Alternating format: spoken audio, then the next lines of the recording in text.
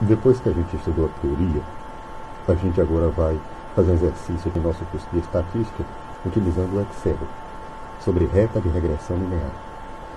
A regressão linear ela vai me dar uma reta do tipo A mais do X.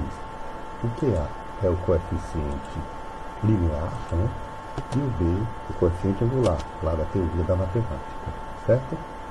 Bem, nós temos aqui um conjunto de dados quaisquer em que o x vai de 1 até 6 e o y, correlacionado ao x, tem seus valores.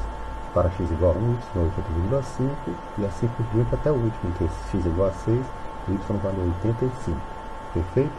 O coeficiente linear, A, ele é encontrado no Excel por meio de uma função, que é a função intercepção. Essa função intercepção possui dois parâmetros. O primeiro é o y, então a gente marca toda a série do y, coloca ponto e vírgula, depois marca o segundo parâmetro, toda a série do x, e fecha parênteses. Dá um enter. Então ele achou o coeficiente linear, 79,7.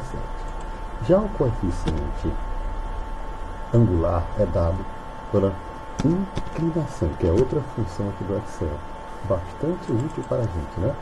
Em que a gente tem dois parâmetros, marcando o primeiro que é o y, ponto e vírgula, e marca o segundo parâmetro, a série do x, fecha parênteses e dá o enter. Ele encontra exatamente o que nós queremos. Olha aqui. Então a reta y vai ser o que? y igual y igual aí a gente coloca o A, que é esse daqui, 79,7, mais esse daqui, né? igual, perfeito, aqui, x, né? Então, temos aqui no Excel a fórmula da reta, que essa aqui seria a famosa reta de regressão. Mas pessoal, para complementar, o que o exercício pede é isso, né? Mas para complementar nosso exercício, vamos aqui fazer a reta de regressão aqui no Excel, né?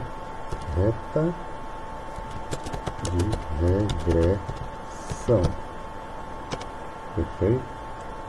Fechadura.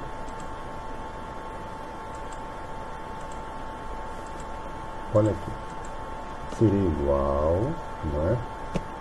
Aqui seria aqui, né? É, A mais BX, em que A esse daqui.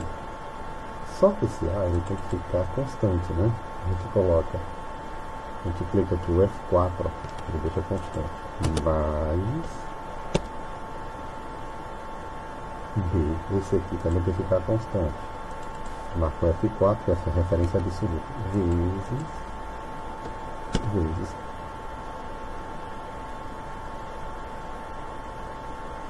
né? 1. Aí nós teremos aqui o novo item, que deu, aqui é 80,5, original que deu 80,58,57, 429. Então a gente puxa aqui, né? Toda a equação e daria com esse resultado. Perfeito? Então vamos aqui marcar tudo isso, toda a faixa para dar o gráfico, inserir, vamos colocar aqui um gráfico de dispersão, o gráfico de dispersão com linhas, olha aqui. Ele nos deu o gráfico de dispersão, olha aqui, todo ele, em que a reta de regressão é esse mais avermelhado, né? uma reta, e o Y é, são os dados originais. Então a reta de regressão foi esse. Perfeito? Pessoal, era o que tínhamos para o momento. Grato pela atenção.